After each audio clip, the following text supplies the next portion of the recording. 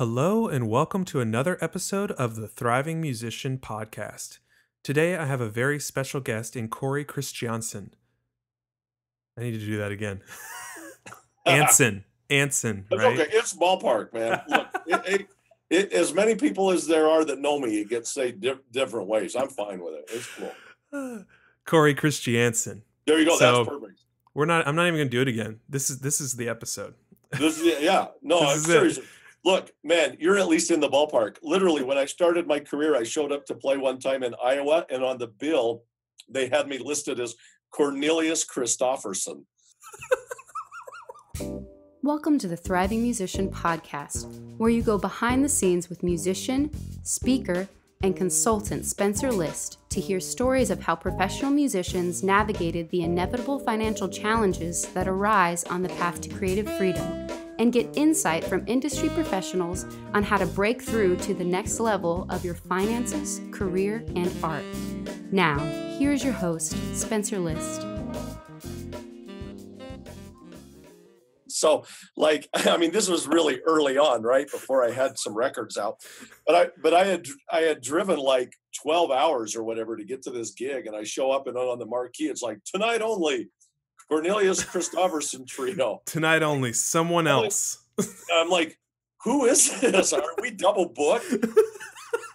And then i and then i ran so i went in and i'm like hi i'm uh i i'm corey christiansen. I think i'm playing here tonight but you have cornelius christofferson on the marquee they go yeah we couldn't remember who you were. So i'm like oh awesome. So like Thanks for the gonna w- be a- warm welcome. All so all my fans are going to be here obviously. You know it was totally it was totally out. And um and then of course we played and, and you know they you know whatever i don't know they may have hated the music because i've never been back but but it but it was it was bizarre. And that's the thing man that's the beautiful thing about going on the road. I've had like so many weird things. I, you know when i when i started off doing a doing doing my education stuff i used to go to around and do workshops and i i drove like 12 hours one time up into iowa to do a workshop and I showed up and there's a big sign that said store closed for you know mandatory employee training. And I'm like oh my gosh I'm supposed to be doing a a workshop here in two hours you Uh-huh. know? So I don't know man. This is, it's, it's you know thriving thriving musician you know aliases um Oh, you that's know, awesome. pl- playing at venues that are closed um yeah I've done it all Awesome. I can't wait to get into all that. So, without, you know, without further ado or introduction, welcome to the podcast. So, for just a, a quick introduction, um, Corey is an amazing guitarist. His father started teaching him at the age of five. He has his bachelor's and master's, and he studied with legendary jazz guitar educator Jack Peterson. Did He is, he was for looks like about seven years the senior editor and guitar clinician clinician excuse me for Mel Bay P- Publications. yeah He's presented countless clinics and performances around the world, and he has a large fan base for his teaching and his playing. And from what I understand, you have uh, is it two online teaching businesses? Is that correct? I do. Yes. Mhm. Yeah. Two different platforms. So, and the for those of you who haven't already, I his bio is in the show notes. You should look it up. It's very long, but I mean, it just goes to show all the things that he's done and who he's played with and opportunities and the traveling and I mean, the list just goes on. And so I'm really looking forward to having conversation with Corey. We spoke over the phone and we actually met through Emily Merrill, which most of you hopefully have heard her episode, which was amazing. And we got to talking on the phone, Corey and I, and I think, at least from my perspective, it was like an instant we're gonna be friends Oh, yeah. situation Oh, totally. Totally. yeah, And, totally. you know, I think in the future we'll be doing some things together. But I, I learned so much even just from him talking about his own story, and I'm really excited for you all to hear his story and some of the advice and um, you know mistakes and things that you can learn from. Um, so, but before we get into that, so for for listeners who aren't familiar with you. Can you give us a little bit more background, um, musically, financially, life? You know, what's brought you to this point? Oh man. Well, I, I guess you know maybe where I should back up is, is that, um, or where I should start. You know, and people can look at my bio. You can see that I, you know, I got a degree in guitar performance at Utah State University, Mhm. where you know I actually run the guitar program now. I came back to my alma mater, and Okay. and um, and we can talk about that too, but um, and why I went that route. But uh, Yeah. I um, you know, then I went and got a master's degree uh, in at the University of South Florida in jazz performance. Um, and gal was, and then I stayed around another year. I was going to do a, a composition degree there also because Chuck Owen teaches there, and you know, Chuck Chuck is an amazing composer and arranger, but um, but I bailed the last semester, so I never did get that second master's degree because I Uh-huh. was because I was working. But um, uh, you know, all that was all those degrees were pretty cool. I mean, they allowed me later in my life to come back to academia, Mhm. which was which was something that was kind of important to me. But you know, I was I was doing a bunch of uh, studio work at the you know like when I was doing my master's degree and when I was outside of my master's degree, and um, uh, some of those studio sessions were for publishing companies. It was kind of weird. I was doing some stuff for Warner Brothers, and then I ended up with because of the connection of my dad doing some studio work for Mel Bay, and they would fly me to St. Louis, and I would do these recording sessions, and it was it was not artistic at all. It wasn't like, hey, let's do a cool art record. It was like, no, we're going to do a CD for you know grade two acoustic guitar, you know. so it's like we had all these kind of heavy cats, and it's like do do do do do do do do do do do, you know. And the thing is, like those sessions are really hard because you can't screw up. There's no artistic license at all. Right. Like it's like play the ink, monkey. Yeah. And so um so anyway, I was doing a bunch of that stuff. Well, it it ended up that I ended uh um I I went to lunch with Bill Bay of um you know who's the president of Mel Bay Publications and one of the coolest people ever in the music business. I mean, just a true passion for guitar, a passion for music in general, and a passion for music education. And anyway, we were at lunch, and I remember where we were. We were at a steak and shake. I'm a real steak and shake junkie. And uh, and so we were at Steak and Shake, and there I was having my Frisco melt with beans and slaw, chocolate malt. And he says to me, you know, everywhere I go to all these conventions and all these shows, and you know, just like everything I do, he said, people always come up to me and say, Hey, I got a great idea for a book. And he said, I always wonder, well, why would I pu- why would I publish that? But he said, when somebody walks up to me and they hand me a book, I say, huh, why wouldn't I put publish that? Okay, so to put this into context, this is like 1998, right? So the publishing industry is flourishing. It's not like it is now, you know, where everybody's self-publishing and everybody's putting their own stuff out online, and and people aren't really buying things anyway because you know everybody's giving it away for free on YouTube and 60-second clips on Instagram, and, um, but so there was like this was a real thing, but I'm not, you know, I'm not the sharpest knife in the drawer all the time, but I'm not the dullest one either. So I'm sitting there and I'm like, I think this guy just told me how to get published. And I was just starting my second year of grad school, and my wife had a job that started at 5:30 in the morning, and we shared the car. So she dropped me off at school at 5 a.m. and I would just and I would just practice, you know, till 9:30 or whatever my first class was. And then the way my schedule was, I was usually at school till about 10 p.m. Like, and our car schedule was kind of weird. So so I was just, you know, I was on campus five days a week, or at least four days a week anyway, really long hours. And so I got thinking, I was like, I think this guy just told me how to get published. So I took a whole semester of those mornings. And in between my practicing, I was doing research and I started to write a book. And after a semester, I had 80 pages of concept down that it wasn't a brand new concept, but he didn't have anything like that in the Mel Bay catalog. So I just mailed it off to him and said, Hey, you know, I wrote this book, you know, it might be something you're interested in boom, a week later in the mail, I, I got a contract. So I'm like, wow, this is amazing. I'm a grad student and I'm published by, you know, I'm going to be published by the biggest publisher of guitar music. And so uh, I thought it was cool. And then a few months, God, not even months later, weeks later, he writes me back. He's like, hey, I got an idea for a book that I need in the catalog, and I think you'd be good to write it. Do you want to do it? So I was like, I was like, yeah, cool, of course. And then he wrote me back and he's like, I got another idea. So like I'm, you know, I'm a grad student and I had three contracts and then I, uh, you know, I graduated or whatever, and I was doing some freelance work and still doing some of this studio work for him. But he wrote me a, um, or he called me actually, and he said, "Hey, I'm putting together this huge anthology of all these solos, you know, from different artists uh, that's going to come out. And, hey, and I was just wondering if you got time to transcribe like three of these solos. I need to get some of this stuff done. I was like, yeah, absolutely. So then a day later, he calls me back. He said, man, you know what? I was thinking, I'm kind of embarrassed that I just asked you to transcribe. You should, have you got some music that we could put in and you could be included in this anthology? Now, here's the wow. thing. I had no business being put into that, in that anthology. Like Bill knew I could play, but I hadn't made a name for myself. Like I had no business, you know, I, I was transcribing, let's see, Jim Nichols, who's a great fingerstyle jazz player, John Abercrombie, and Andy Summers. Those were the three guitars I was putting in. And so I'm in this, now he's asking me, hey, have you got some stuff to put in this book? And I'm like, geez, yes, I do. And I didn't. I didn't have anything. But what I did was, as soon as I said yes, I went and I recorded some stuff with some guys.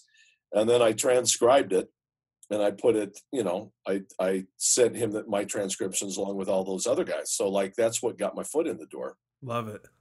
So um, you know, I had like I said, I'm not the sharpest academic probably, but I'm pretty street smart.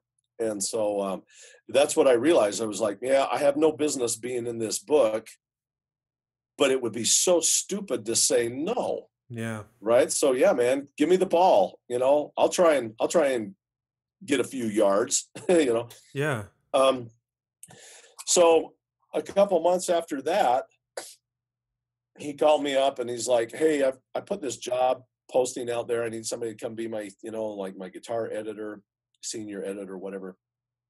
Um, I've had a lot of people apply. Nobody's really fit the bill, and I keep thinking about you. Do you want to come take this job? And he's like, "But hear me out first, because he's like, I know you're a player, and this is this sounds like a jest job, but he's like, we built this company on my dad writing some good books, and then he drove all over the country with books in the back of his car, and he gave them to every guitar teacher in the United States. And then the teachers started using the books, and that's how we made our money. Mm-hmm. And he's like, and I don't have anybody that's doing that right now for the company. So what I'm going to propose to you is that you can come, be the senior editor, and you can help with product development. And the way I want you to do that is I said, I want you to be in the office, but I want you to go out on the road and I want you to do workshops and I want you to get back to grassroots of knowing all the teachers and knowing all the players. And I want you to get our product in their hands, but I also want you to find out who's got the strongest curriculum and bring those back to us so that we can publish the best stuff. And he said, if you'll do that, he said you can go out on the road and be a player six months out of the year but you have to tie everything back to you know this company somehow right so he's like i'll pay the flights i'll pay the hotels i'll pay all the meals if you will go out and be a touring musician you just spon- you're sponsored now basically dude it's basically like i got the greatest jazz guitar endorsement that the history of the world has ever known yeah Wow. And and here's the thing, Spenser. I never had a budget at the beginning of the year or at the beginning of the month. I had like basically a credit card that had no bounds. Wow. And I could go do whatever I wanted as long as I cleared it with him first. Right. So I would plan out, you know, my my schedule like six six months in advance. Well, here's what I did. I was still when I was in the office, I was still going in and like do do do do do do do do. I was like doing those kind of recordings for yeah. the books, right? But we were also developing some pretty high end stuff. But I used to hire some really really great musicians to do those sessions with mm-hmm. me, yeah. right? And it was nuts, man. Like the guys that I that I hired were all um, St. Louis top musicians, and at the time that was like Emanuel Harrold, you know, who's now playing with Gregory Porter. And, you know, he moved to New York after some of this stuff and kind of made a name for himself up there. His brother Keyon Harrold, who's, you know, all over the place, did one session with me where I needed trumpet. Uh, had some great bass players. But so what I did is I, I was friends with the engineer. And so I told the engineer, at every one of these little sessions where we were doing some play-alongs, you know, those were mm-hmm. actually pretty fun. But you know, some of the simpler books that we had to put CDs, play-along CDs with, I just told the engineer, I'm like, hey, for our sound check, like we're going to play like, you know, one or two standards. Will you just record them and then keep them? Yes. So after a year of doing those little sessions, I had like, I don't know, 14 or 15 tunes and I had enough stuff to release an album. Yeah. And it, co- and it cost me nothing wow. Because the musicians had been paid for their time. And so now I'm I had my books that I was writing, I was being published, I was out on the road doing workshops and I was playing gigs because I knew a lot of the local musicians and I would just line up stuff, you know, and sometimes I'd show up as Cornelius Christian, you know, Christopherson or whatever. but but then I started to have a CD. Yeah. And then what happened was I told so I was like, well, I'm going to give Bill a copy of the CD because I recorded some tunes that I knew that he liked. And I, so I gave him the CD. I said, hey, look, in the spirit of transparency, like I did this recording, I explained the whole situation to him. So I'm like, technically, you know, like you kind of paid for this CD. So just let me know if I need to get straight with you, you know, on the bread or whatever. But Yeah. he was like, he's like, cool, man, I'll check it out. So the next day he called me into his office and he's like, hey, um, I listened to your CD and I was like, oh, cool. You know, he, I'm, I'm sure that you know this isn't a bad meeting he's not going to chew me out but he might ask for some bread or whatever to go back into the company like hey you know you need to do this. But it kind of went the opposite. He was like look i was thinking about it. He's like i know you kind of did this on a dime but it's really good and it you know now it's 2002 or whatever. Mhm. and he's like record labels are dropping their artists right and left because nobody's selling records blah blah blah. He's like this might be the perfect time for us to like start a record label and use use the um publishing company as the arm and he's like and we've got that you know he's like we're already taking out ads in all the major magazines because the publishing company is a multi-million dollar company right? Mm-hmm. and he's like but i think there's an opening here. And he's like you know blue note records they were so focused you know you knew what you were getting when you got a blue note records in the 60s and the artwork was great. And he's like i think if we did an album or a record label with a really strong focus that it was tied to guitar we could maybe be you know somewhat successful and it's going to promote the books Right. so he was seeing like he was a genius at how he was seeing this whole thing play out right Yeah. so then he says to me, he goes, Man, I was really impressed how you threw this together. So he goes, Why don't we do this? You will be the first artist on the label. Hire whoever you want to be on your record, get whatever studio you want anywhere in the country. He's like, We'll do it right. We'll take out all the ads. We'll do, you know, like, we'll make sure that we, because we got to promote this thing. And he's like, I think you'd be a good first artist to produce. And here's the thing, Spenser I have no business being the first artist on this label, just as I had no business being included in that book because I hadn't really done anything. Yeah. But the fact was, I had paid some dues. I was playing pretty well. You know, I was playing with top tier guys. I just didn't have a real record contract, and that's what broke me open. Was Wow. was that right there? And then we went on to run, you know, that record label for several years. We had some number one records, um, you know, and I was I was just kind of in with all the guitar guys, you know. And the thing was, we were we were always so straight with everybody on the bread, and the contracts were always so good because Bill Bay is such was really truly just such an honest businessman that had a passion for the music. That um, dude, it just it just like catapulted my you know my career and i was getting reviewed in downbeat and jazz times and jazz times would do articles on the record label well i was the guy you know helping run the record label Yeah. So it instantly just put me in this situation where i could kind of do whatever i wanted to do artistically Wow. so i know that was really long-winded No, it's amazing. it's such a unique story, you know, in that most people don't. Most people would have said no to the senior editor job because it's like, well, that's not going to, you know, I'm not being an artist. But like, I really saw that, and I got some some really great advice from from people and I've had some of my mentors back then that were like, "Hey, do you remember when you got offered that job?" I was like, "Yeah," and they're like, "Yeah, we told you don't take the job, right? It was going to ruin you." And I was like, "Yeah," and they're like, "We're so glad you did not listen to us," Yeah. because they're like, "Look at you know where you've been able to take this." And and here's the thing, Spenser, my whole life I've had this attitude, and I have three criteria that like every project I get involved with has to pass this, you know, these answers or like these questions Mm-hmm. with with acceptable answers. And the first is very selfish. It's like, okay, what's in it for me? Mm-hmm. Like if I do this project, what's in it for me? But then the second question is because there's a lot of projects I can do that are just good for me. Mm-hmm. The second question is, how many of my friends can I get involved in? How many of my friends will benefit from this project? If like if I go to the trouble of doing this, how many of my you know like brothers and sisters do I get to help with this project? Mm-hmm. Right. And then the third is like, how many people will I be able to mentor in some way? Like, how many students or how many listeners is this going to affect? Right. And so, any project I get involved with, those are the three questions that are always on my mind. You know, what's in it for me? What's in it for my friends? And what's in it for everybody else? Yeah.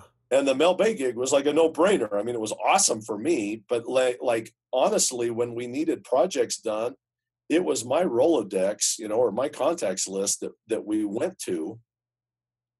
That's that launched all of these, you know, all of these projects. So I got so many of my friends hooked up with publishing deals, um, that it was awesome. I mean, Wow. it was awesome.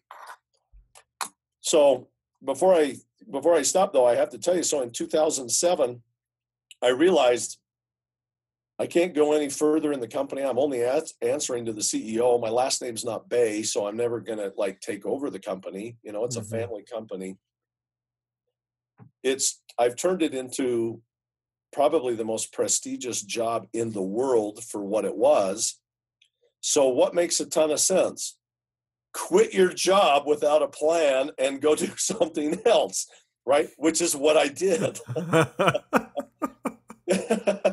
yes. because because um um I I really I didn't know what I was going to do, but I just knew that I couldn't go any further and I and I just knew that I had to do I, I just had to take out the safety net Yeah. and do something else, you know, to achieve my artistic goals. And, um, you know, financially, what somebody might say that was a really stupid thing to do, but it hasn't been. And so I did. I quit my I quit my job, and um, I don't want to say I panicked because I didn't panic. Because here's the thing, Spenser: we spent as artists, we spend our whole life learning how to be creative, and that skill set set should carry over into every aspect of our career Mm-hmm. and that's one thing I always said is like, you know, I I never was the guy that like moved to New York and got mentored by Art Blakey or insert one of a hundred other really influential jazz artists, right? Mm-hmm. But what I did is I went and got gigs and I hired all the people that were older than me to mentor me. Yeah. I mean, that's that's what I did, and and that was a creative way, I think, to you know get my career going to where it wanted to go. And I was on the road all the time, and part of the reason I said that is, you know, should should throw this out that I had a five year old, four year old son at the time, and he commented one time as the taxi was taking me off, and I'd only been home one day in between trips, and my wife said that my son said, "Mom, it's so fun when Dad comes to visit." You know, yeah, exactly, right. So I was like, oh man, okay, maybe I got to reevaluate like what I'm actually doing here. And so I wanted to get back into to academia, and that was kind of a tricky that was kind of a tricky thing for you know for me for a long time to do. Also, I was teaching at Utah State as a visiting professor. I was teaching at Indiana University as a visiting professor. And if you look at a map of the United States, those are not really you know like adjoining zip codes, right? Yeah. so so that was you know that was kind of a you know it was a great experience but i but it was a trying time that i went through and and suffered for the music and for music education Mm-hmm. and long story short or or long story even longer is that like i i had this um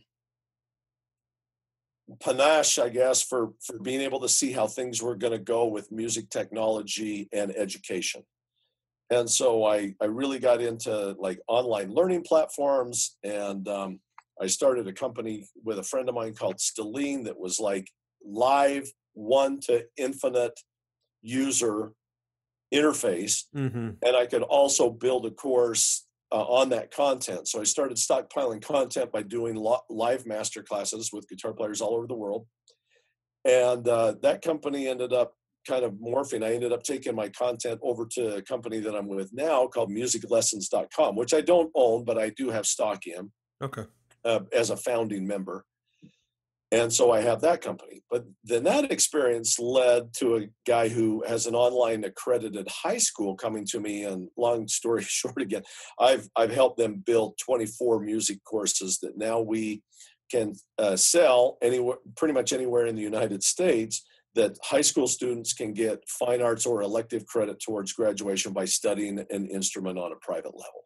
Wow. And nobody's ever done that before. So this this company is like boom, like it's Yeah. gonna be massive. That one's called Educational Advantage. Awesome. So I have um, stuff uh, with musiclessons.com, which is like my jazz content, jazz guitar, and then I have um, I s- I serve as the curricular uh, curriculum director for Educational Advantages music arm Okay.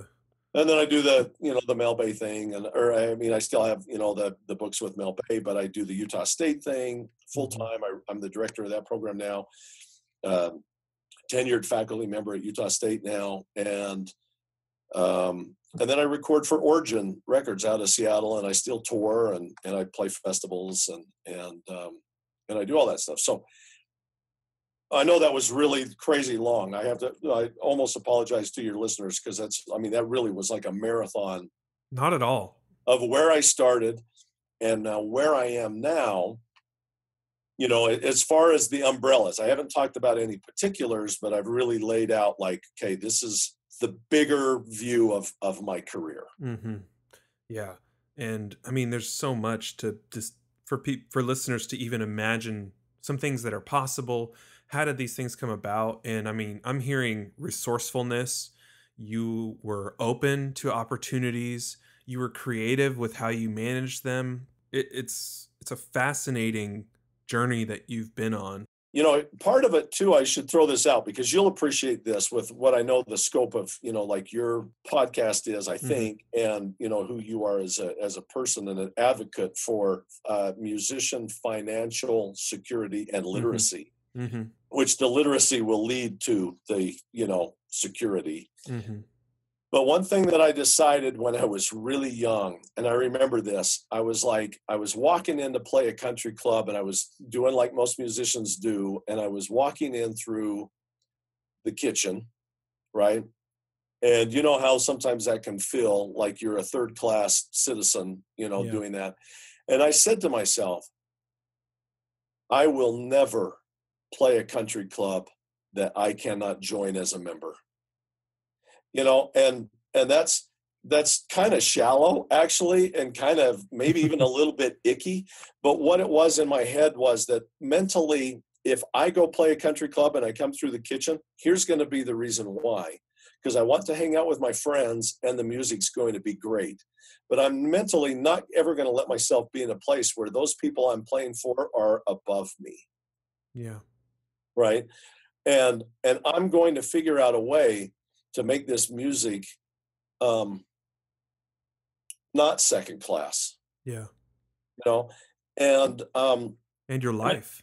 yeah and i wanted my you know i want my wife and my kids to have a certain standard of living. And look man i'm a musician like you know like all i need is a little bit of gear money because i like you know like some gear money, a roof over my head some good meals maybe a little affection would be cool but Mhm. like like at the end of the day like when you're hardwired like a musician like the things that really matter are the music and the projects well i'm just you know i'm finishing up a um you know like the mixing on on one of my new records and the fact is i have to have money to do those projects yeah. the reason i want financial security you know isn't necessarily so i can acquire more things I want to have financial security so I can better express myself as an artist. Yeah.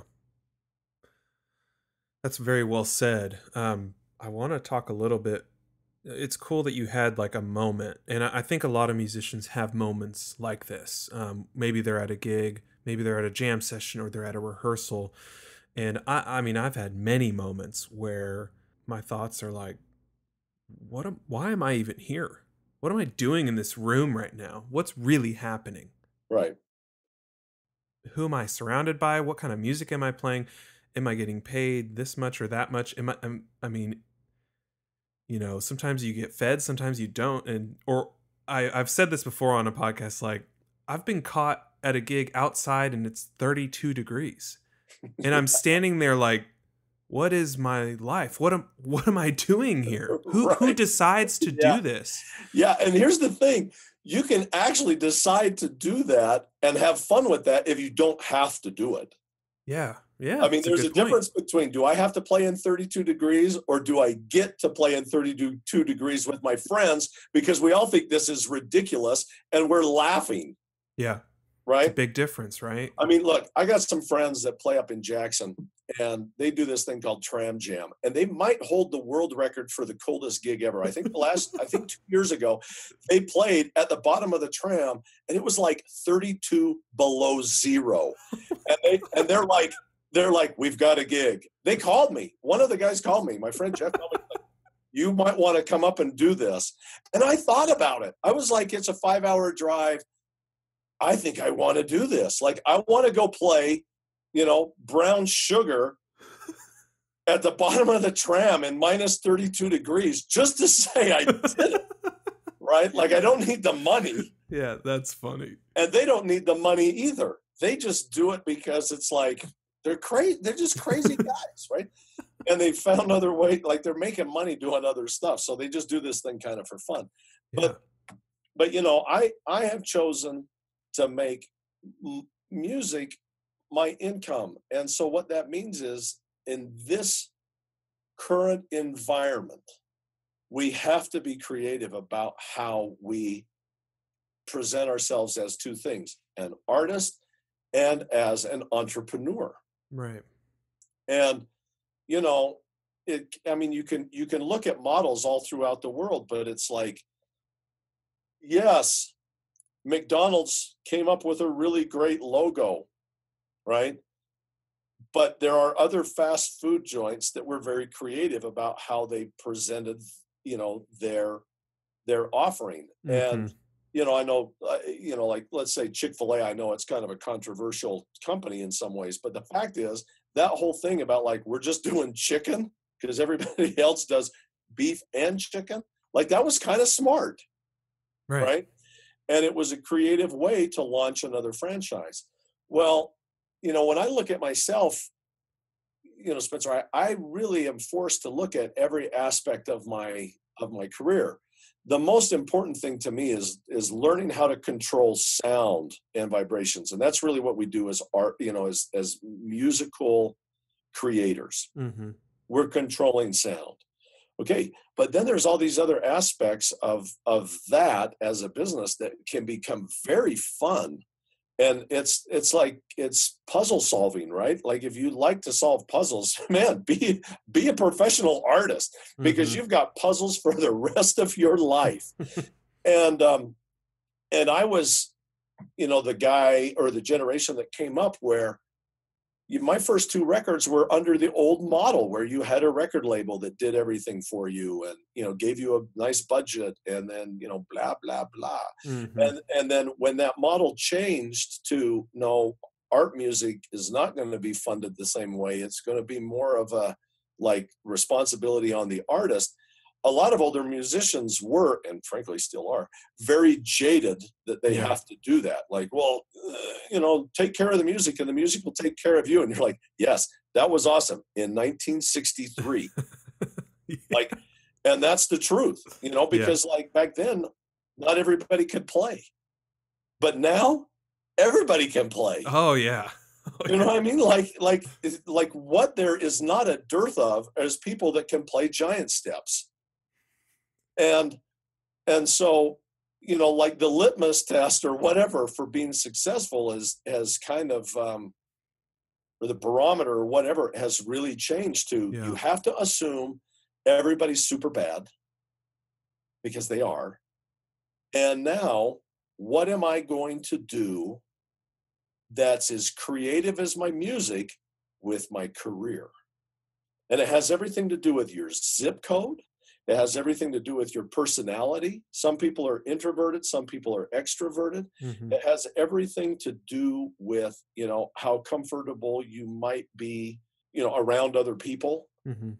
uh, there's all these things that go into place and you know and i spend a lot of time like mentoring you know i do these these things where i get together and mentor people or they pay me to mentor them or whatever Mhm. but into like let's figure out like what kind of person are you like Yeah. because first of all what makes you happy okay then let's like turn that into what what can you know what can make you you know financially secure so that you can do even more of the stuff that makes you happy Yeah.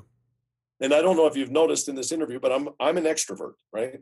So like there are things that being an extrovert, you know, allows me to do and remain happy. Where Right. where some of this stuff would be like people would be like, oh man, that's my worst nightmare. Right. You know what I mean? And Yeah. and like that's okay.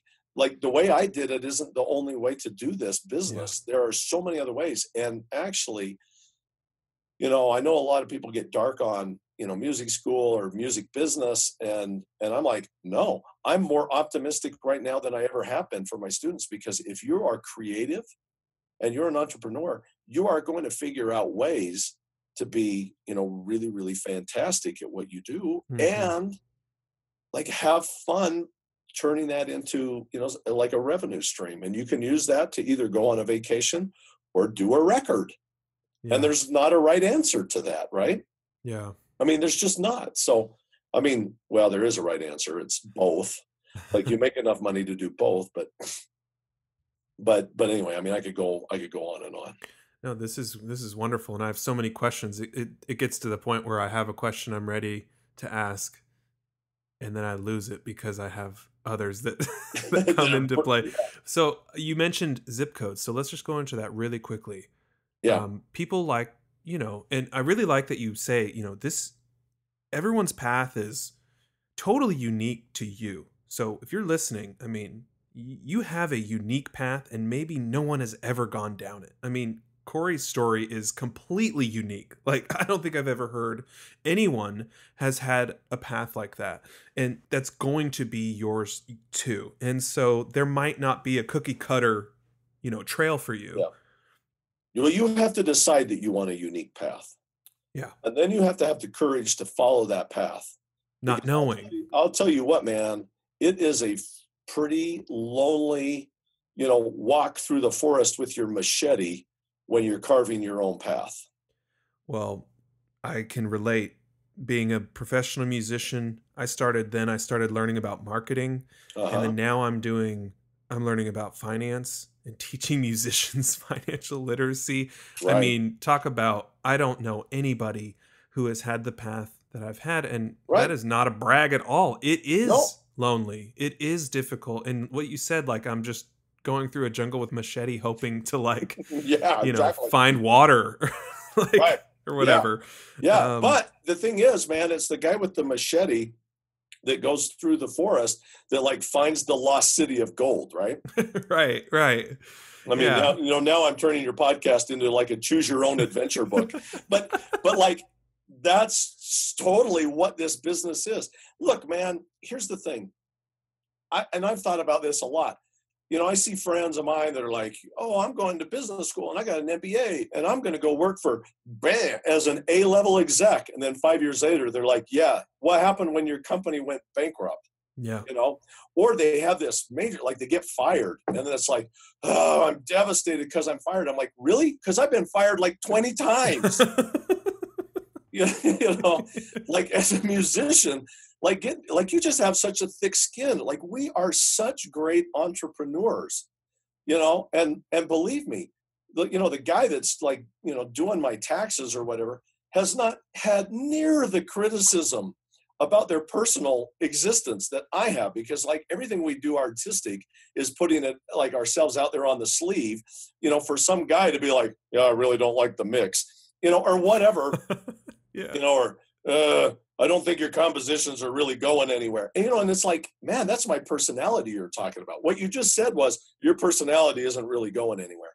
yeah And and like we learn to be okay with that and laugh about it You know, I'll be like, yeah, well, whatever. You know, that, that he's probably right. You know, maybe I'm, maybe, you know, maybe my compositions don't go anywhere. yeah. And um, and then we come back swinging. So we're like musicians are like formidable, formidable opponents, man, when it comes to the business world, right? I mean, Yeah. we have all this this skill set together, but it does. I mean, you'd mentioned the you know like the the zip code. I mean, where you live does have something to do with your career, unless you've got your career into a situation where, you know, like like you know, uh, frankly speaking, mine was in a place where it didn't matter where I lived because I wasn't playing in St. Louis at all. Really, I was playing at the end of my time there.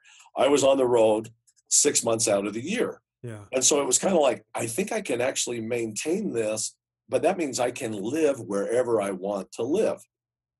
So I like to fly fish. So I moved back to Utah, you know, to this valley I grew up in where there's a bunch of really great trout, trout streams. And I'm 90 minutes from the airport. And everybody says, Oh my gosh, you're so far from the airport. I'm like, Have you ever been to LA?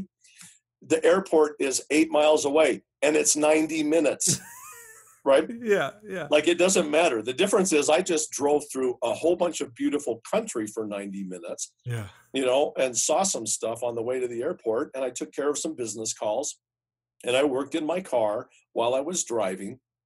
And that's no different than it taking 90 minutes for me to get from my house 20 miles from the airport in St. Louis. And it was 90 minutes in rush hour. Right? Yeah. So at the end of the day, I was like, well, I'm just going to go live wherever I want to live. And and then I had to start to construct a career around that zip code, you know, because Mhm. it's like, well, yeah, I'm on the road a lot, but still, I, okay, I need some teaching opportunities because I like doing that. Okay, how am I going to make that work? Oh, well, there's a university. Okay, well, maybe I can get in with them. But I'll tell you, one of the cr- most creative things I did was I started this thing called Weekend at Corey's, uh, you know, which is my friends kind of called it that, and it just stuck. You know, it's like Weekend at Bernie's or whatever. Yeah. But I was fly fishing with my son when he was five years old, six years old maybe, and I used to put him on my shoulders and I would take him up the river to places where his mother would have killed me if she would have seen what I was doing with this kid. But, I'd fly fish and then I'd hand him the rod, right? Like I get a fish on, I hand him on the rod, he's on my shoulders, and it was this thing that we just that we just did every week, and and it was a really great time. But one day we were sitting on the bank of the river, and he's like, my son had this epiphany. He's like, Dad, when we get old, we should figure out a way that people will pay us money to fish. And I was like, let's do it right now. so I started thinking about it. And I was like, you know, I live in this amazing area and I'm pretty good at getting fish on the line. I'm like, I bet I could do this thing where like people would fly out to study guitar with me in the mornings and then I'll take them fly fishing at night Amazing. and so you know i built a house that had a guest room in it it was private and then i put some feelers out to all these people i'd met during my mel bay tours and i knew a bunch of guys that were like ceos and trust fund people and managing trust funds or managing hedge funds uh, owned companies a level execs uh, guys that had money that played guitar and they play it pretty well but I just re- reached out to them. I said, "Hey, I'm leaving five weeks open every summer, weekends. You know, if you want to come in, you fly in on Wednesday. We do guitar Thursday, Friday, Saturday. You fly out Sunday morning. We do guitar from nine to noon. My wife's a gourmet chef, which is totally true. You'll get three squares a day." And then, like when our brain is full of music, we'll go hit the river, we'll fly fish, or I'll take you golfing, or we'll go hiking. Like we'll do some kind of zip code, you know, themed Yeah. adventure. And while we're doing that adventure, guess what we're talking about? We're talking about music, you know? Yeah. It's brilliant. And so these guys were getting, you know, and I've had college students come do it. They get more out of it, like the the the hang time than even sitting down in the room playing, right? You Yeah. learn more Oh, when yeah. you're hanging out with your mentors than you do like sitting there in a lesson. Yeah. And the- and like, you know, Spenser, I booked out the whole year, like in a week of phone calls. It's crazy. And and so now i do this thing every year where like i you know like basically mentor people and uh hang out with my friends and like my son said i figured out a way to get paid to fly fish Yeah. There's really no limit to this stuff. there Yeah. and that's you hit it there's no limit like the only limit is is like what you're going to limit yourself to thinking Yeah. and then not being overwhelmed with life and and and losing track of like what your goals actually are yeah. Wow. because i still go in through the kitchen sometimes to play gigs you know like i just do like i Yeah. just go in through the kitchen you know but but uh, but i'm always like hey i don't need the money from this gig i'm going so i can hang out with some of these guys and remind myself of where my roots were Yeah. and play some good music and have a good time and maybe get a meal with the guys after and then we'll yak it up and it's going to be a fun hang and then i'll go home and basically all i did is earn enough money to keep me in fishing gear for the week Mm-hmm. you know what i mean Yeah. but i have these other things going on Yeah. that are my foundation so that i can choose to do those things Right. What do you say to, you know, I've heard this a lot from people, and I remember growing up kind of just kind of hearing this a lot and maybe feeling it a little bit, but, you know, what do you say to someone who says, you know, I, I, I do music because I love it, um, and I don't care if I'm starving or poor. It doesn't matter. As long as I'm playing music, I'm happy. What, what do you Mhm. think when you hear that? well i would just i mean i think it's valid you know i'm like if that's if that's what brings you the most happiness then, then that's great. But i would follow it up with another question. If you could have that and financial security would financial security make you unhappy? Right.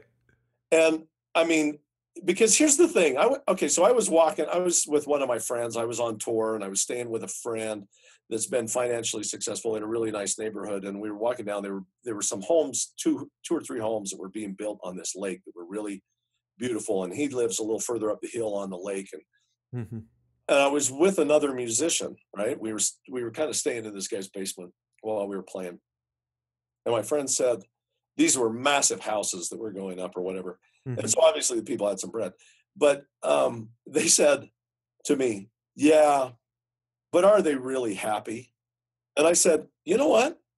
I said, uh, "I don't think we can answer that question, but the premise of the question is flawed because I'm going to ask you this one back: Are they really unhappy?" like that house doesn't make you unhappy Yeah. you know and it could be okay maybe they've worked so much that you know uh, at a job they don't like that they're building this to like compensate for something i don't know Right. but what i see when i see that is i say i don't know i think they're probably kind of happy because to be good at anything or i should say to be good enough at anything to afford that kind of lifestyle you must be passionate about what you do because you got good at it Right. so i'm going to say i don't think we can can answer the question or even ask it honestly Yeah. Just based on the size of somebody's construction plot Right. Right. right Yeah. so so when people say well i don't all i need is this to be happy i'd say well i think that what you've done is you've introduced some kind of measure to give yourself an out for being a failure Justification of sorts. there you go yeah that's probably the word i'm looking for you've given yourself a justification but i say to that i say look it's valid. If all you need is the music to be happy then that's great. But the follow-up question is would financial security actually make you more unhappy? So if you could do all the things that you're doing now that bring you happiness but then have financial security and i'm even going to say in my life financial security is not my priority. Mm-hmm. It just isn't it's just that i re- the music is my priority Mm-hmm. but what i realized is there was a way to have the cake which was the music and to enjoy it even more by eating it Yeah. which was the financial security and so as a result of that yes i've been able to put out eight albums under my own name as a leader that i've paid well six of them i've paid for Mm-hmm. right through different you know means or, or whatever Yeah. And then I have a hundred percent control over my art. Hundred percent control. Yeah. And all the choices you make, I mean, from here on out, if you want to do a gig or not. I mean, that I talk about that a lot is, you know, if you can find the financial security, you then have the power and choice to to do what you want to do and if and if that's make more art then all the better right? And i'm not even sure that having money like i'm not saying that having money makes you more creative. It doesn't. I got in a Right. very i got in a pretty serious debate with a with a friend of mine the other day um, about you know his premise was that the or, or side of the argument was that innovation the only reason innovation exists is because of the free market and i don't agree with that. I think that the human spirit will continue to innovate regardless of what type of you know trade model mm, you know, our world subscribes to right? Yeah. whether it's you know free trade or control trade or no trade or, or whatever yeah. the human mind is fundamentally designed and this is you know this is my belief with a godlike characteristic which is to create.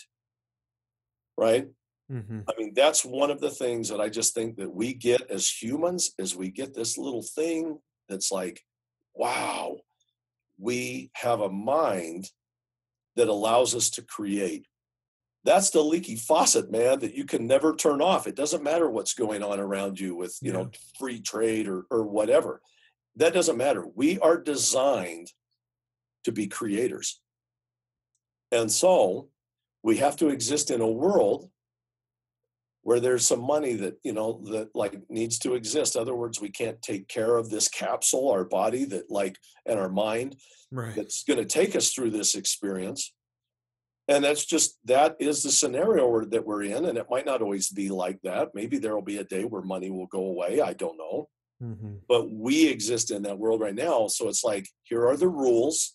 Let's learn the rules and then let's play the game the way we want to play the game but there are some rules that we have to adhere to hmm definitely and let's be real about it and right this Totally. isn't you know we don't have to have those the fantasies about what's right and what's wrong and how we do things Right. whether that's with money or with music um, so for a listener who has maybe heard a few episodes where they're really deep into this stuff and you know we're you know i try to educate about savings retirement taxes income insurance you know just kind of the Right. basics of yeah financial planning this is kind of a hard t- hard question but you know maybe either your experience with this or what you would recommend to somebody who is trying to get these things in order learn more about them take action put them into action in their life but also balance that like you just kind of talked about you know keeping music as the focus but still getting this financial literacy as they're learning from me or from whoever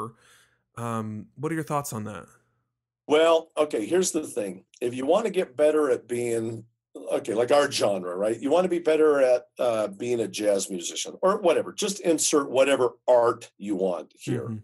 Let's just talk to all artists for a minute. Okay, so I want to be better at my art. What do you do? You go and you find some mentors that help you become better at your art, right? Mhm. You surround yourselves with yourself with better artists right? I mean, I just did that. I my my record that I'm getting ready to release here in a few months is all like Afro-Cuban based music, right? But there's no piano and there's no horns, which is Wow. like, you know, so it's so it's like a guitar based record of Afro-Cuban influenced music. And very like cool. well and I hired some of the best guys on the planet and I just got destroyed, you know, like which is exactly what I wanted to happen because Yeah. I got better yeah. you know? In the week that we spent together doing concerts and stuff and it led up to like i got better at understanding their vocabulary their language right? So um and i'd done a ton of listening on my own for you know a long time but at the end of the day like i needed to be in their presence and i needed to experience a thing. So i don't think it's any there's anything that's any different. Like if you want to get better at financial security then then you got to hang out with some accountants right? You got to hang out and i got this advice from a friend of mine in detroit that like really is a great you know businessman um, that has had music as as his um, and music education as his um, you know entrepreneurial platform hmm but he's hugely successful i mean hugely successful financially. And um and this was the advice he gave me. He's like man you want to learn about you know like tax law? Then you got to hang out with lawyers right? If you want to get good at racquetball, you have to hang out with guys that are good at racquetball. So if you want to get good at financial stability, you got to hang out with people who are good at, at, at being financially stable. Yeah. And then you learn and you take notes and you get better the same way you get better at music. Yeah, I agree. And I want to add to that getting better at financial security or racquetball or whatever doesn't have to take away from your music. So I, Oh, I remember not. thinking that and, and even growing up when music started to take over i kind of like cl- closed the door on other things that i was good at or i really enjoyed and so I, I like to emphasize that by learning about these things they don't and you you mentioned this earlier that that's not even your focus you know it doesn't have to be your number one priority um, and it won't make you any less of a musician and Right. it, it can make you more of a musician just giving you more opportunity to play more or to, Yes, it to does. record more to teach more whatever you want to do Mhm. um, that's very helpful Well, it allows you it allows you to say no. Right? I mean, it Mhm. allows you to say no to things, and that's a great power that a lot of musicians underestimate. Is that like I have the power to say no to certain things if it's not going to make me happy, yeah and you have to work for that. You have to work for that, you know, blessing in your life to be able to like turn things down and say no.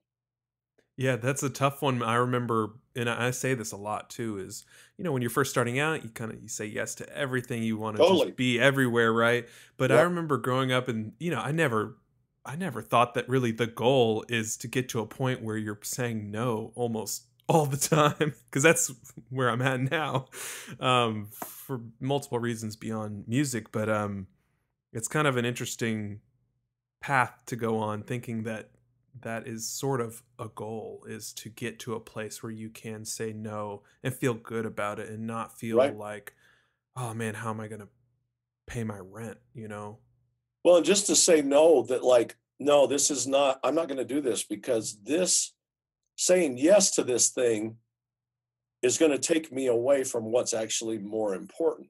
yeah And that fluctuates. yeah You know, like it was important for me to get back to spending more time with my kids. You know, when my son said, Oh, dad, it's nice when you come to visit. Okay. But like I had, like I couldn't just change that. Like he said that on a Monday. I didn't just fix that on a Tuesday yeah right? It was like, okay, now I've got a goal to get myself into a career, like get my career and start thinking about it strategically in a way. Now, look, my path is not everybody else's path. You know, my path really was I'm going to be a very strong player so that I can take more high profile gigs that pay more money per hour and I have to do less of them. Because the fact is, when you go on the road and you play a festival, you generally, not always, but generally will make more than you're going to make playing a local gig when it comes to art music. Now, I'm Mhm. not saying that you can't get some really high paying, you know, cover band stuff or whatever, certainly but art music, you cannot be from your own zip code. Nobody wants to hear my stuff in my neighborhood. They're like, how can you be a good guitar player? You don't even mow your lawn every week. You know, you know I mean, it comes back to that that thing of like, you know, prophet in his own country, right? yeah yeah and that, and that's a real thing you know like uh why do we want to go down you know and hear corey play on main street you know he's booked out a venue and blah blah blah you know it's like he's my neighbor you know and like he forgets to take the trash cans in. I, how could he how could he possibly be good at anything because he's not good at taking in the trash cans? That's an actually really important concept, I think, because even on a serious note, I mean, I think about like in Dallas or probably in any city, it's like, oh, this person's playing here and he lives there, and then they're going to play at that place again the next week or the next month. And yeah I right wonder why people don't come. And, and you know, there's there's differences here with like ha- trying to build a local fan base and all that stuff. But oh this yeah is an important topic to consider. Um, I mean, that it's you know come through is what everyone says. Come out to my show, and yeah it's well look what's it- the intrigue? And the thing is it goes very very deep because it's not just um it's not just performances either it's also teaching you know you think about like um, how students become very complacent about you know and very familiar and a little bit um,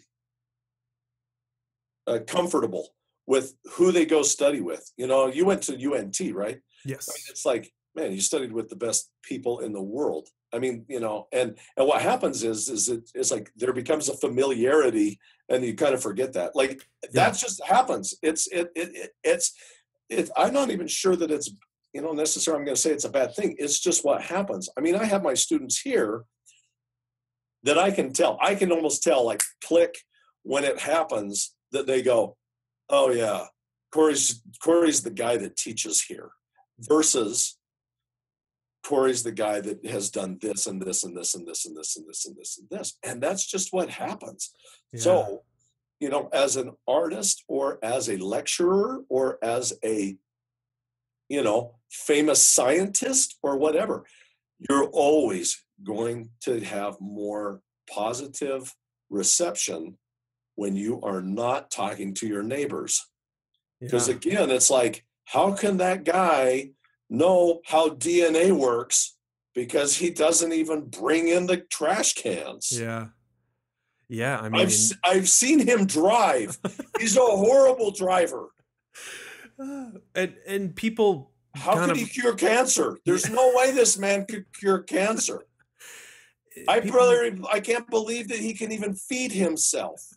yeah i mean think about like your friends who know you as a really closely and you know for people who know me and and what you're saying resonates with me times infinity you know people have known me as a saxophonist woodwind specialist you know low reeds i like to play bari and bass clarinet and all this Cool. stuff and I, I i'm really like to sight read and all that kind of stuff and that's great but that's an identity, right? So it's easy for your neighbors, and whether that's your friends or your music community, Mhm. um, anybody in your area, your family, you are now that identity. And so here these years have passed on, and I am and have always been so much more than that identity, but now I'm really showing that.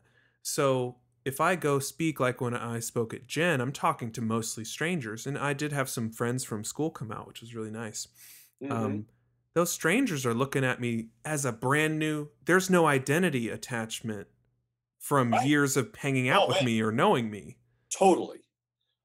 Totally. Oh, I'm gonna okay because we were both at the same JEN convention, right? Mhm. And our and our like we didn't connect at, at JEN.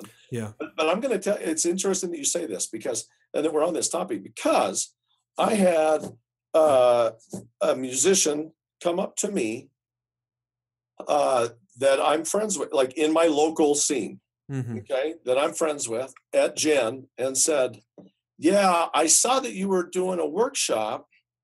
But whenever I see my friends are doing a workshop, I don't go to that workshop. I go to somebody else's because I figure I'll just see you like, you know, on the weekend and we can talk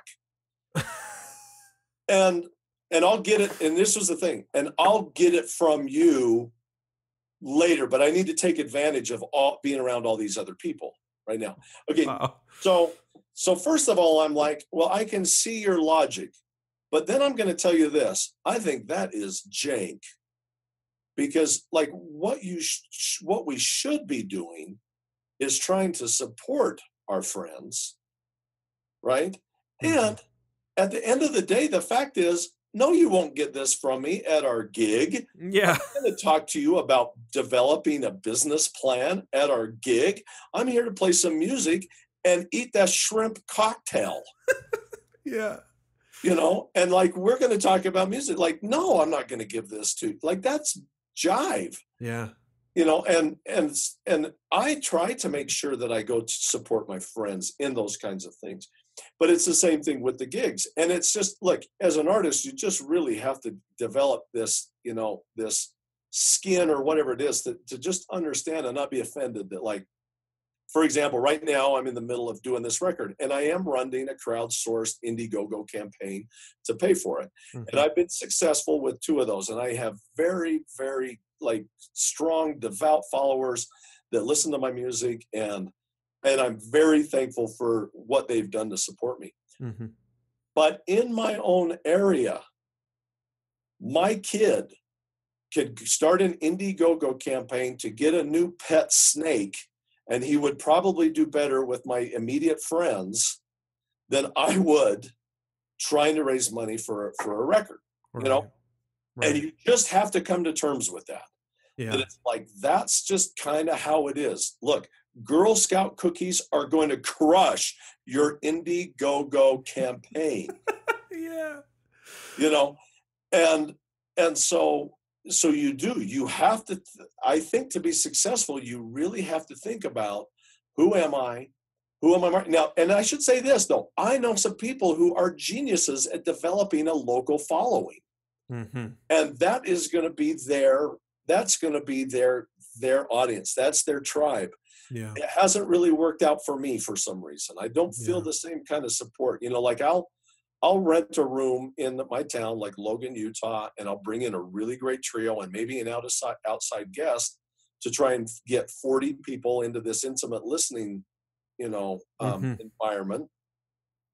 And I'm sweating bullets at the end, like before every show because it's like, oh man, we haven't pre-sold any tickets, and you know, 40 people you know, like 40 people, really 40 people? But 40 people in my zip code is a huge accomplishment hmm on a Thursday night. And that's wacko. Do do you know what I mean? Because like like that's strange that that like you can't do better in your own town than I could in like Ames, Iowa. you know, and I and I don't mean to say Ames, Iowa with disgust in my voice like I did. It wasn't towards the town. I actually really like Ames, Iowa. uh-huh. The, the thing is, the disgust is that I have to travel 2,200 miles, to get- like to get more than 40 people to show up. right. And and when I play for my peeps in my own zip code, I'm the one that rented the room, so I'm out 250 bucks there, and then I got to pay all the musicians. So there's another 300 or whatever that I'm out, and they're doing me a solid at even doing it at that price. right. Right. because because it's it's gonna be fun. So it's like, and then I'm out there stressing about selling 40 20 dollar tickets to actually pay the band more than I promised them, which I usually try to do, Uh-huh. and cover the room, you know, and all this stuff. And then it's like, and you know what I do with my share? My share goes into kitty, so I can lose my shirt in four more weeks when I do it again except for the burrito, the carne asada burrito I'm going to buy at Rancheritos on my way home. and and the thing is, I'm happy to do all that because I have financial security in other areas. right. But at the end of the day, you just as an artist, you do have to deal with this, you know, thing of like oh, zip code defeat. I may have just I may have just coined a phrase. There it is. Zip code nemesis. Yeah. Yeah. Yeah. Zip code paralysis or something. Yeah. Zip code. I don't know, but it but it is a real thing, and we all know that it is. And Yeah. like, and you're in and you're in Dallas, right? So it's Mhm. like, you know, and here's the deal. So it's like, uh, you know, I'd have to ask. So like, when Dan Haerle plays, is there 1,200 people there? Because like there should be, Yeah. because the man's a freaking legend.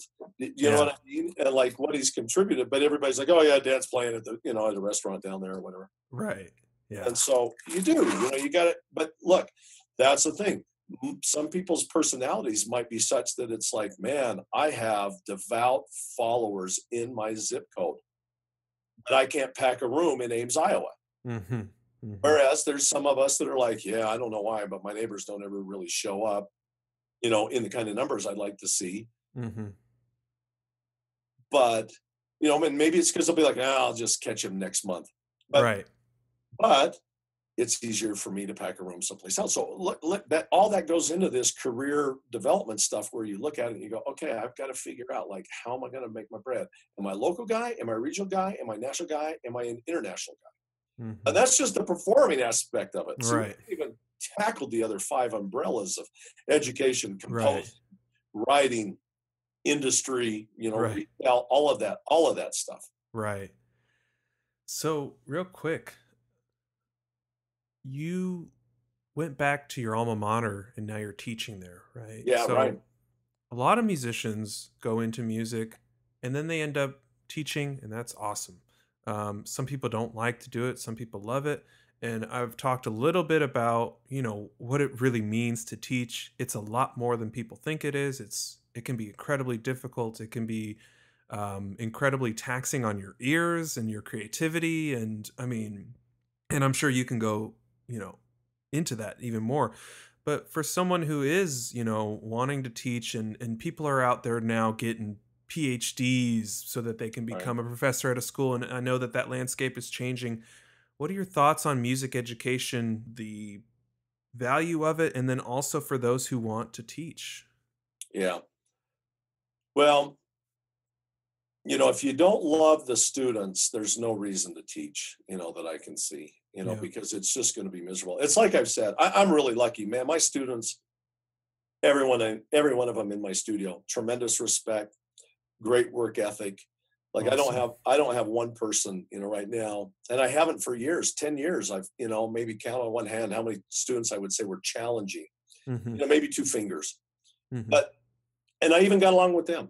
I love passing on the information.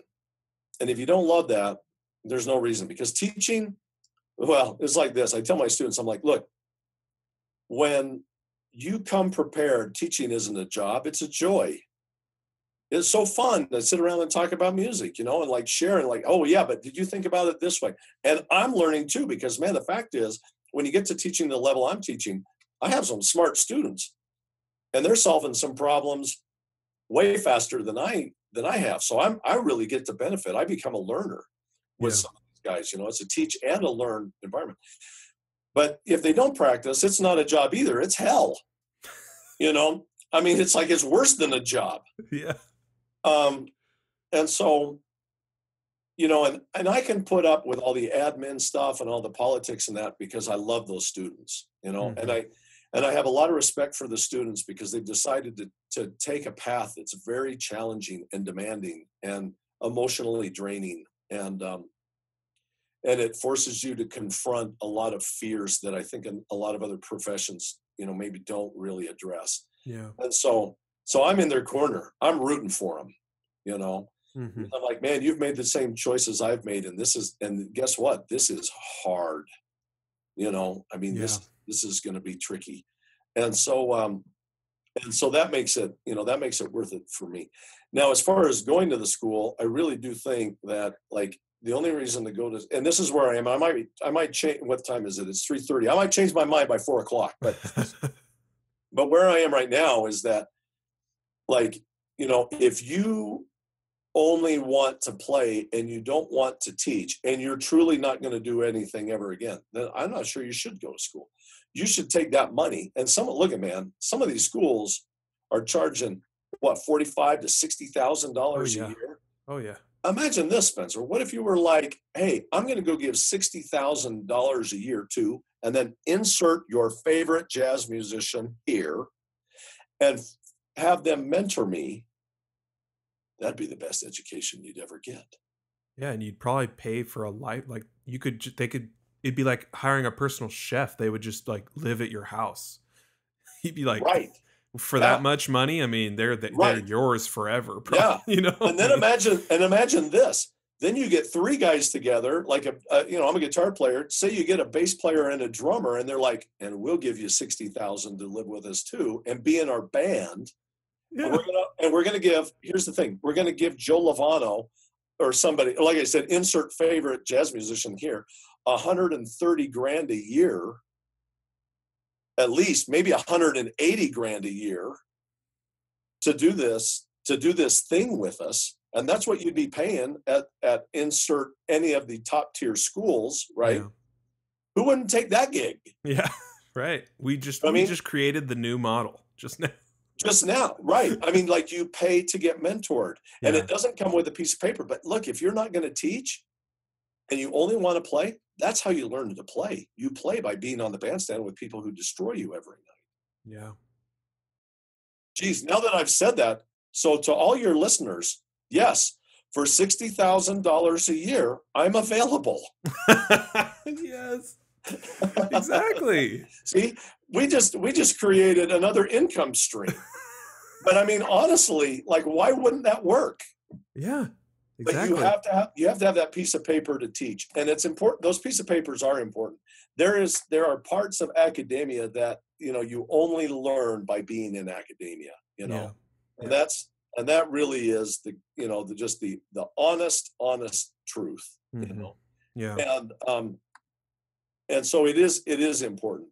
And so I don't you know I don't um, I don't discredit the education that I got, and and it, is getting more and more. I have noticed this that that students that uh, students, people and you know players that have the PhD and the doctorate really are high level players at this point. There are high level players that are going to get that education, and it, that wasn't always the case, right? Mhm. I mean, it was, you know, people stayed in school sometimes or, or wanted a teaching gig because they weren't going to make it as players. But now Mhm. the gigs have dried up. You have great world class players that are getting advanced degrees. yeah. And that's kind of awesome because what that's doing is it's making the academic scene uh, much, much stronger. Yeah.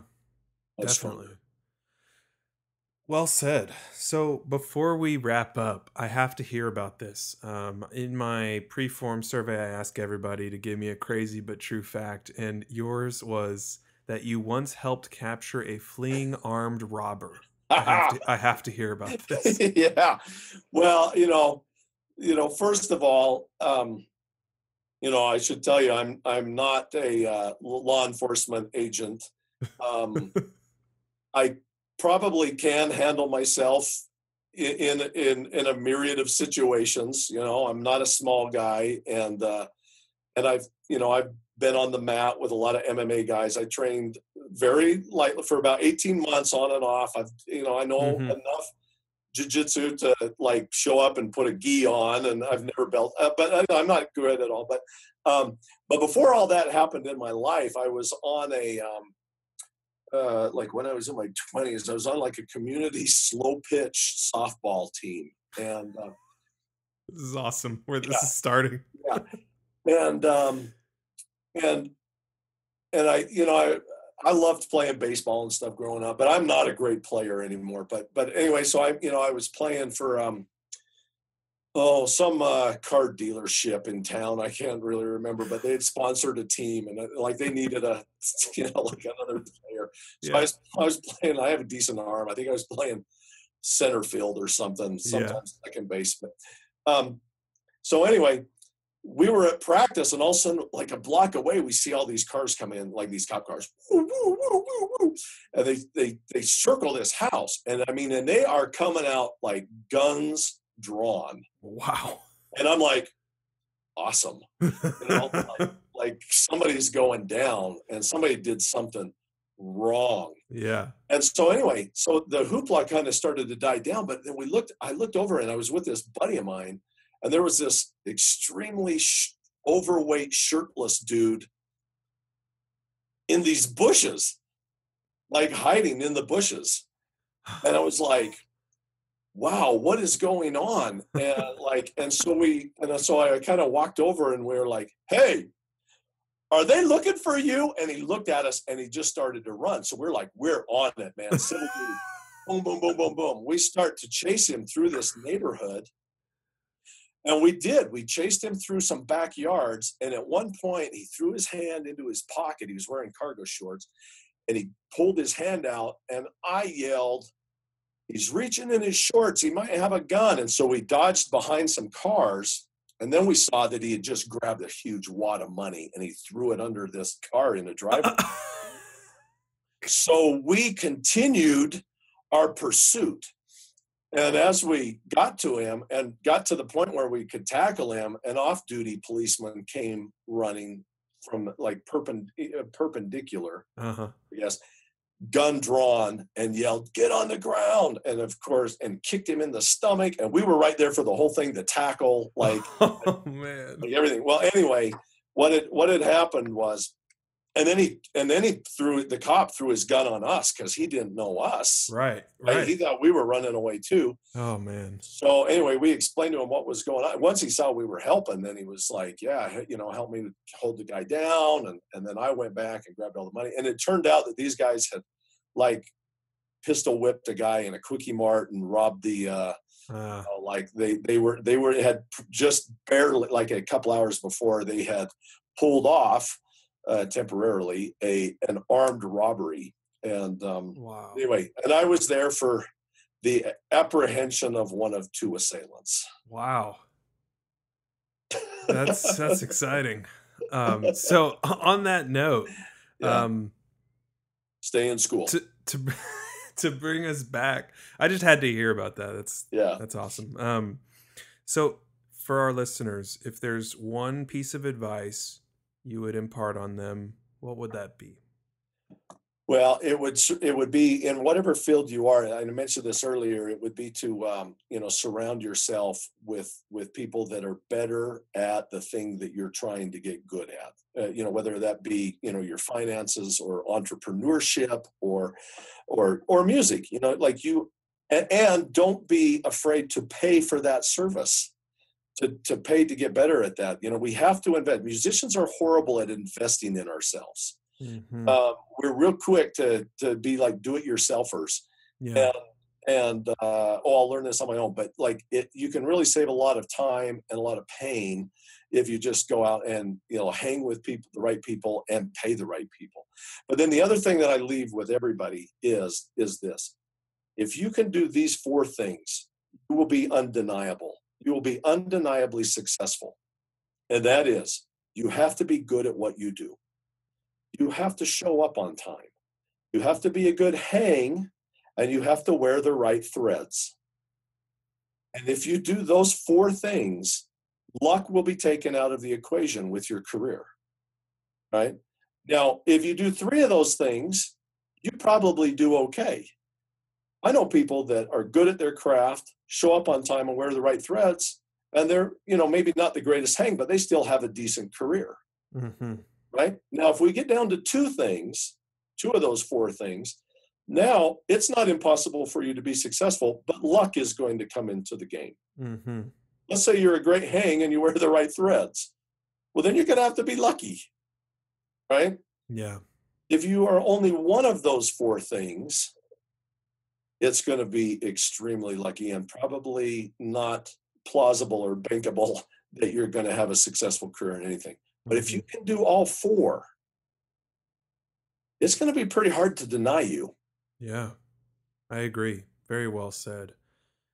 How can our listeners learn more about you and or get in touch with you? Uh, the best way is my website, CoreyChristiansen.com, C O R E Y C H R I S T I A N S E N dot com. I'm uh, I'm not really good at updating the website. I do I do quite a bit on social media these days. Mhm. That's a great place to get a hold of me. Um, my musician page, uh, my f- regular friends page or whatever is full um, on Facebook, but I have a musician page. Um, you know, my Instagram account, uh, which is um, um, Corey C O R E Y underscore guitar.